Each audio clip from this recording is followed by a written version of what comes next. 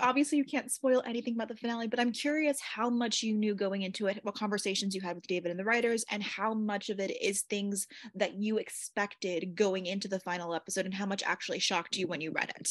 Yeah, it's more that. It's more like we we don't have a lot of input with David, you know, and the writers. We we we have some when it comes to our own characters, you know, a little bit.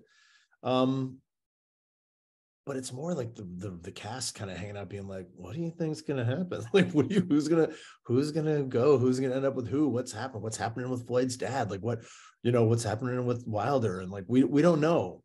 We learn just a little bit before we shoot it. So i think going into it we didn't we weren't trying to sway anything. We know that david's got a clear idea of how he wants to end the show.